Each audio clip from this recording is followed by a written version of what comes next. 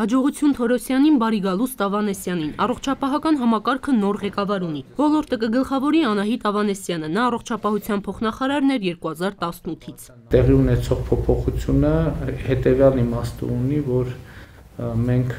շարունակում ենք վստահել այդ թիմին, Թորոսյանի օրոք առողջապահության նախարարությունը ամենաարդյունավետ, բայց եւ ամենաքննադատված նախարարություններից մեկն էր, ընդգծում է վարչապետը։ Նա կարծում է դա բնական է, տարին ծանր էր, փորձությունները շատ։ Փաշինյանը վստահ է առողջապահությունը պատվով է դիմակայել իդին ու պատերազմական մարտահրավերներին։ Վարել է մարդակենտրոն քաղաքականություն։ Նպատակը եղել է մարդկանց մատուցվող առողջապահական ծառայությունների որակի եւ շրջանակի ընդլայնումը եւ մենք այդտեղ բավականին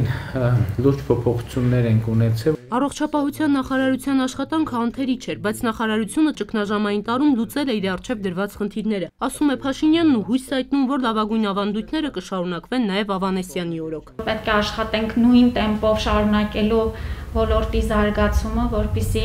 մեր քաղաքացիներն ունենալով կենտրոնում ավելի որակյալ, մատչելի եւ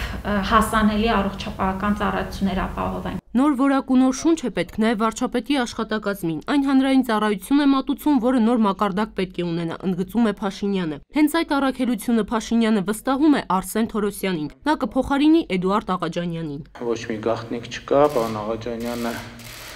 իմ քաղաքական մերձավորն է եւ շարունակում է լինել այդպեսին եւ ես համոզված եմ, որ մենք մեր համատեղ ճանապարհը